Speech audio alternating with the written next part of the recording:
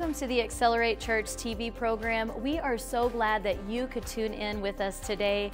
Pastor Jeremy is currently teaching the series Go. He is breaking down the Great Commission go into all the world and preach the gospel. That is for you and me, my friend. And Pastor Jeremy is teaching us how to do that. Let's head into the sanctuary right now.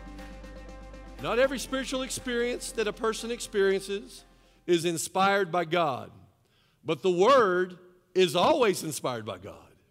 So, therefore, to do this, you can know guaranteed, I am being spiritual.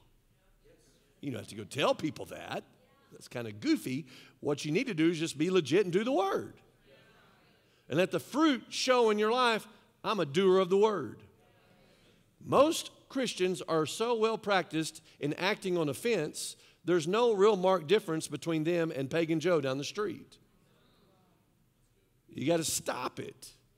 God didn't inspire you to be offended and act on that. No one has ever had a more legit spiritual experience than Peter, James, and John. They were with Jesus on the Mount of Transfiguration. And I was talking to my dad about this earlier, and I, I just feel inspired, I believe by God, to read this to you. Peter said in 2 Peter chapter 1 that the Lord Jesus showed me. He called his body a tent, that I'm about to lay this tent down. That's what he said in verse 14. And then you look at verse 16, here's what he says. In other words, in the context of, I'm about to lay my life down, guys, understand we haven't followed cunningly devised fables. When we made known unto you the power and coming of our Lord Jesus Christ, but we were eyewitnesses of his majesty. Look at verse 17. For he received from God the Father honor and glory when there came such a voice to him from excellent glory This is my beloved Son, in whom I am well pleased. And this voice which came from heaven we heard when we were with him in the holy mount.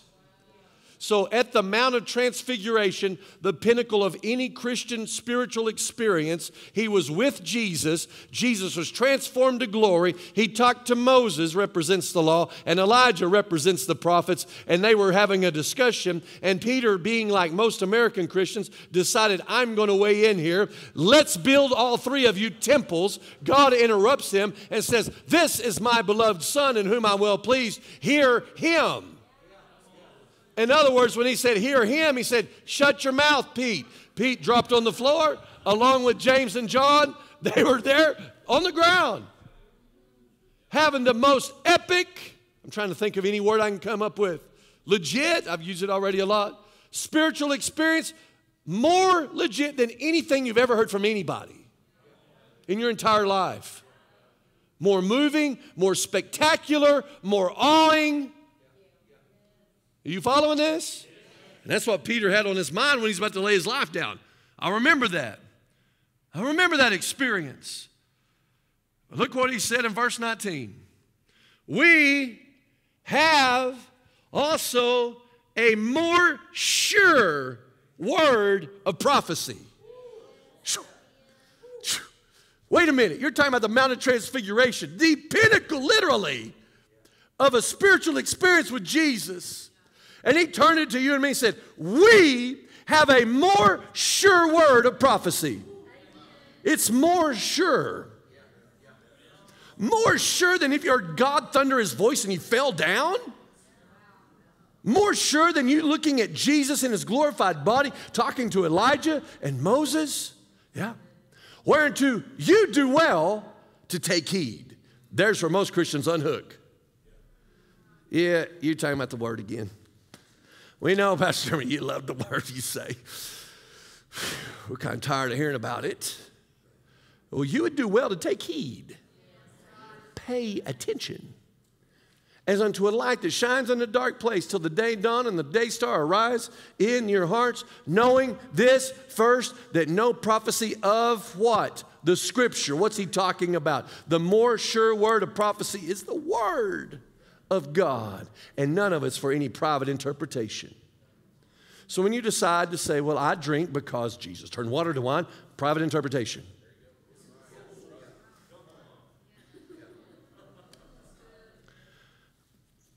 Peter also mentions that people take this word and twist it to their own destruction. They take the word and, and they twist it. You know when they do that? Private interpretation. They don't go run it through their pastor. They don't run it through any spiritual leadership.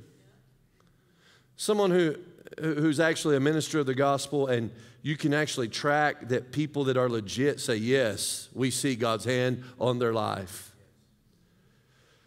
I, I never cease to be amazed at all the movements, quote unquote, that happen across America in the name of Christianity. People saying, you know, and of course it was huge during COVID, churches left the building.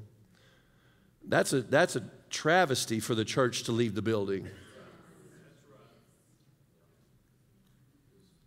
Well, they have church in China. I know. Do you know God's best is that we have a place that we all come and gather without persecution. That's God's best. Why? Because when you come in here, you hear the Word of God. And by the way, I, am just not a Johnny come lately into Christianity and decide, no, I think I'm just going to pick one out to give you tonight. Let's see what God wants to do. Hang on, hang on, hang on, hang on. Israel's like scattered sheep. The lions have driven him away, for the king of Assyria devoured him. Now at last this Nebuchadnezzar, king of Babylon, has broken his bones. Depart, my friends. Was that inspired by God? The scripture's inspired by God. But there's no verifiable application for your life. That comes through study, through being plugged in, through time, coming in and out to church, in and out to church. Dr. Barkley's on the radio with me this week from our studio recording. I mentioned it the other day, but I will mention it again. He says on this Friday broadcast coming up here in, in two days, he says on that broadcast, he said what he did with the Marines is he'd go time and time again and do the same thing over and over and over and over and over and over and over and over and over. He said, Let me change up uh, go to church on Sunday and then on Wednesday and then oh Sunday comes again. Oh Wednesday comes again. Oh, you, know, you just keep doing it. And what happens? All your little private interpretations get obliterated at some point, at some time. You see, you're on your own out there, you're interpreting on your own, you don't ever run it through anyone. I don't know how we've gotten in such a sad shape in America. Because the Bible says specifically that when someone prophesies, that you're to judge what they say. Just because someone says, Thus says the Lord, and has a word for you, doesn't mean it's God. On the second and fourth Sunday nights of every month, we have Life Links. We gather together with like minded believers and discuss the current series that Pastor Jeremy is preaching. We have food, we laugh together, we pray together, and we build those godly relationships with our brothers and sisters within the church. We would love for you to join us for Life Links. You can find a list of all of our groups along with their locations on our app, our website, or just stop by the desk in the lobby. We have someone there ready to help you find the perfect LifeLink group.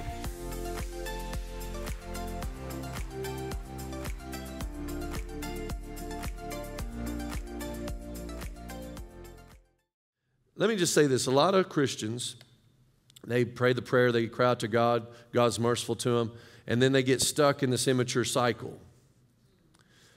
What I'm talking about is the first rebuke that comes their way, they don't receive it, and so then they're thwarted in their growth and they never, never grow from there. Why? Rebuke doesn't feel good.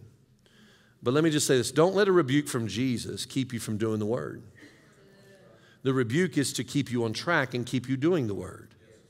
Because I don't know if you realize this, but when you and I live life and we part ways tonight, some of us are going to be tempted to go do stuff that's against the Word of God. And what you need to do is say, oh, I'm a disciple of Jesus Christ. Somebody rebuke me, please. Only those that really love you will rebuke you. Now, listen to me carefully. Listen. God has ordained and designed certain channels for your rebuke. You don't need to go down there to the United Grocery Market, and there's some good people that work there, there's Christians that work there, and catch a rebuke from the cashier. However, if you're trying to steal groceries, you're going to catch a rebuke from the cashier because they're authorized to do that. Are you listening to me? Some people, they, they, they, don't understand this. When it comes to the hearing of the Word of God, you don't necessarily need to log on to YouTube to find someone to rebuke you. You to go get planted in the church where God's called you and stay there and wait on the pastor because eventually he's going to rebuke you if he's a real pastor.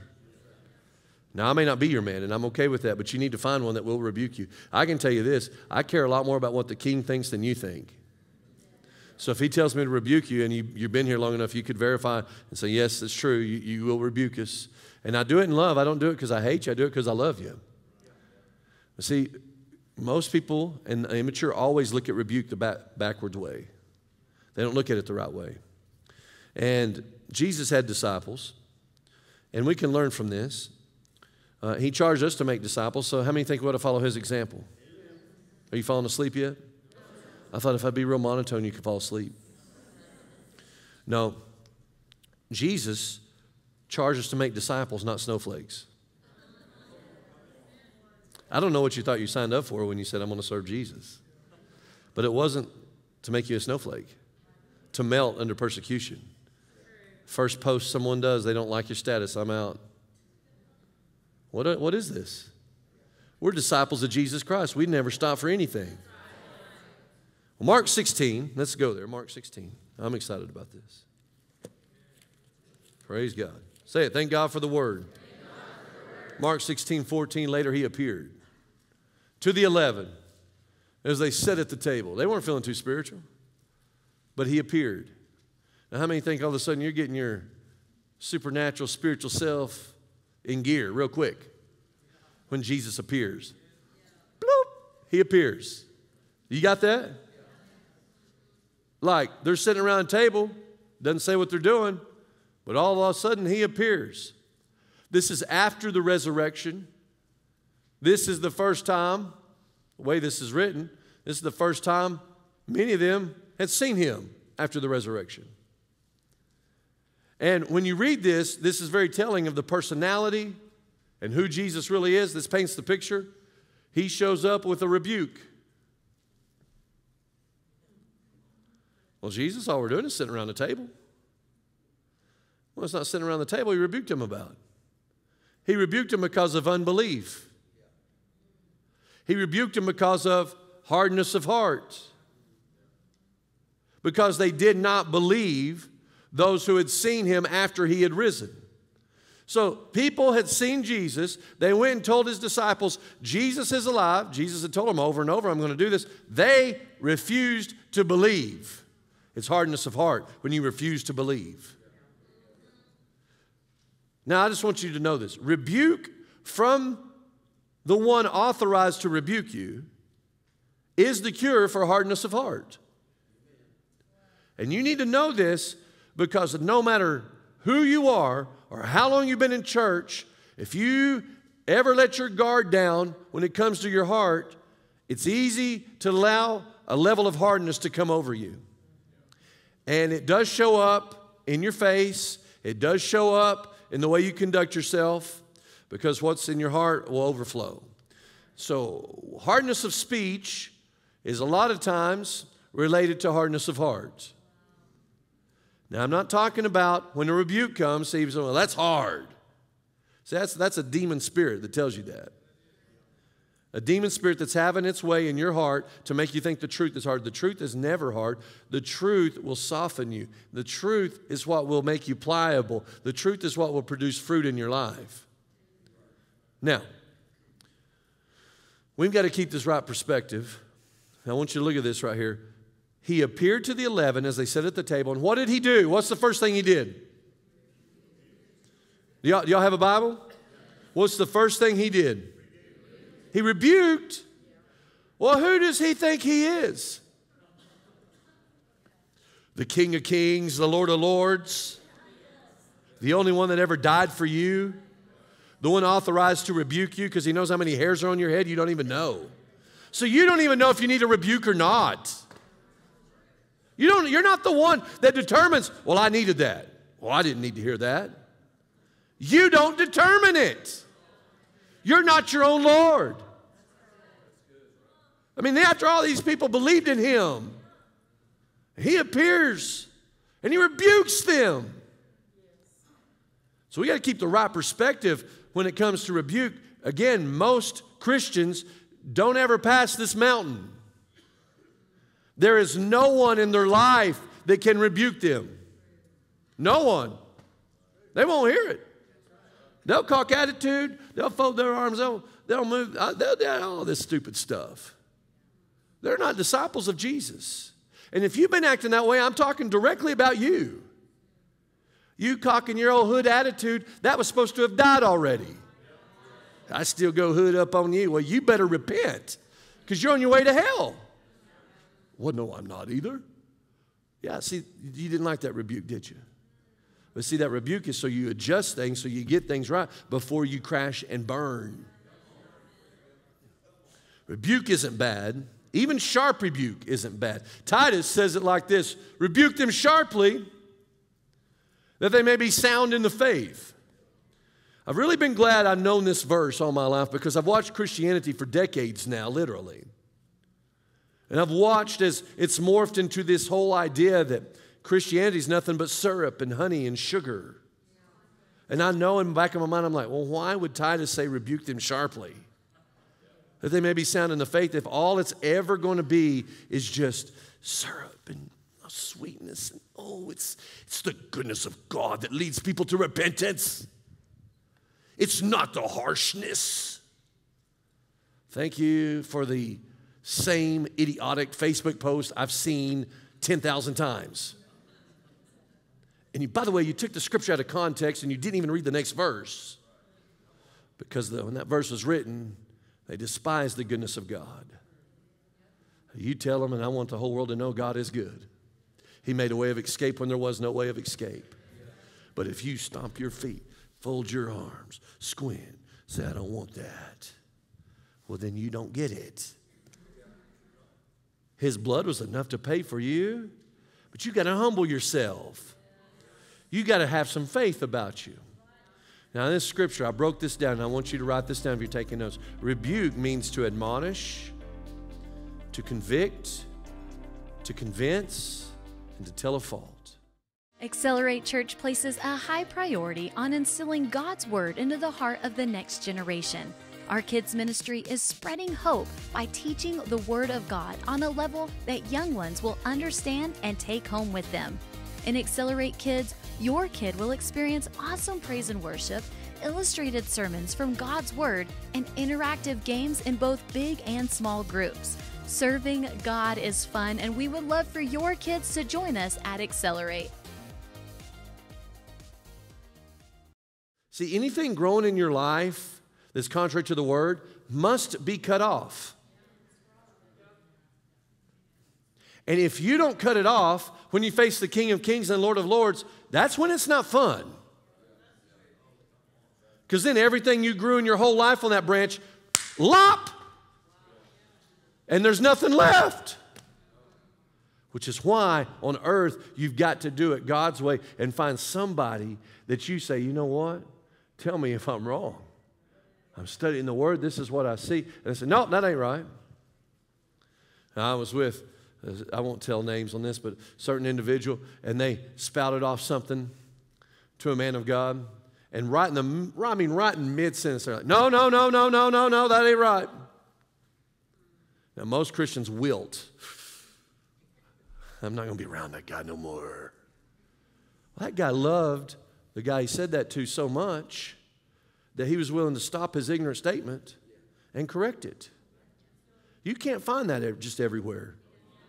Most people are too concerned about what you think about them. Most people are that way. Well, I watched that happen. And to this day, to this very day, that happened more than 10 years ago. So that happened 10, 15 years back, something like that. And I was sitting there in Fort Worth, Texas at a restaurant, and a guy starts saying something, and the guy stops. I'm mid sentence. This is what this scripture. No, no, no, no, no, no, no, no, no. And that's what I'm saying. Most people, oh, I don't like that. Well, do you want to be sound in the faith or not?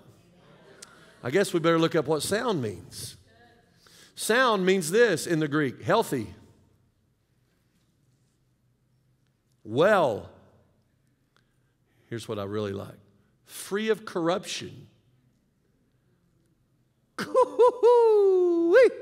Didn't know it was going to be in this series like this. I didn't see this coming, Pastor. Don't worry, neither did I. Here's what I know though pollution and corruption keep people from going. That's what happens. You get your life all entwined with things that have nothing to do with what God called you to do. So he says, Go and preach the gospel to this whole world. And you never go. Why do you not go? You got polluted somewhere along the way. You got corrupted somewhere along the way because in the environment with no rebuke is nothing but corruption. In this environment, though, you come here, I'm not set out, have a personal agenda to make you feel bad. In fact, I don't even want to do this when it comes to sharply rebuking anyone. But let me just tell you this if you take the sharp rebukes from right here, then we don't have to meet one on one in my office and catch one. This is God's highest form. It's like, hey, would you listen to the word and make corrections? That way you cut off stuff you're growing in your life that ain't of God. Now, that's amazing to me how people will fertilize. They love to put poop and fertilize and water the things that have nothing to do with God. And just keep it in their life and keep it saturated. With their attention, they talk about it, they rehearse it. You say, Well, the Bible says, Oh, I know the word. Hmm. So, what you're growing in is a polluted life. Wow. But see, don't, no one can tell you that in anything. So, here's what people say only God can judge me. He's going to. And uh, to quote the old school song, now, how are you going to plead the case, by the way, before Him? Well, I know, I know you wrote the Bible, but I mean, that's the Word. And you're looking at the Word made flesh staring at you with eyes that burn like fire. I mean, you really think that day's going to go great? When you've never caught one rebuke, you've never received one, you won't receive it. You won't hear it. But boy, I tell you what, you'll sure fertilize the things of this world. You'll sit there and cultivate it, make sure it's taken care of, your own thing. But when God steps into your life and says, I've called you by my name for such a time as this, I've called you, step one, get planted in a local church, and you can't do it. Struggle. It's tough. It's hard.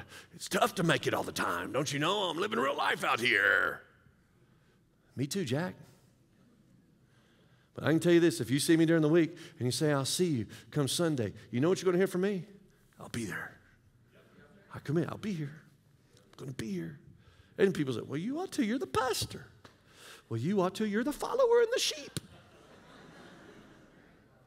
But people say this I'm busy busy. I noticed you didn't have seven children when you said you were busy. I noticed it. I'm busy too. But I'm not too busy for him. And I'm not too busy for a rebuke. In fact, I hunger for it through the proper channels. See, it wasn't that long back. I preached a sermon. I thought it was fire, man. I shook hands, everybody. Thank you, it's amazing. I get a text from one of my spiritual fathers. I need to talk to you about something you said today.